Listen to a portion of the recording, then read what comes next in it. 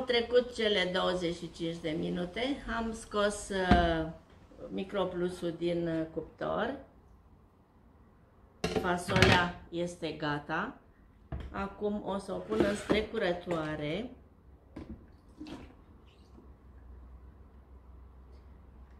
Microplusul, uitați-l ce bine arată și după folosire.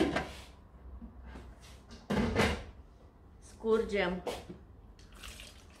scurgem uh, fasolea păstăi, scurgem bine apa.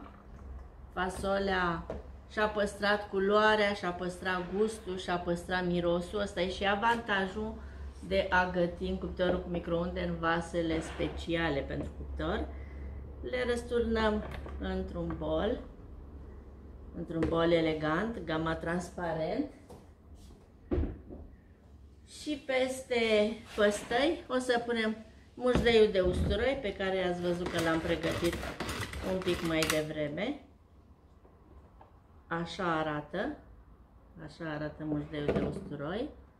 Îl punem peste, eu cred că ajunge. Uh, punem și o lingură de oțet.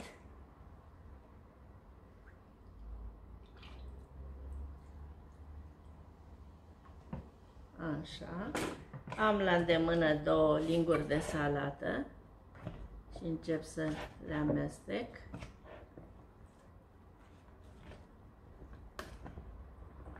Mm, dacă știi ce bine miroase, foarte, foarte bine. Păstăile, uitați cât, cât de frumoase sunt. Arată bine salata. Punem și mărar, mărarul mărunțit tot în turboșef.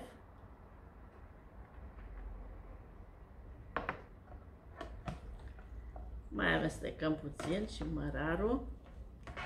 O bunătate de salată.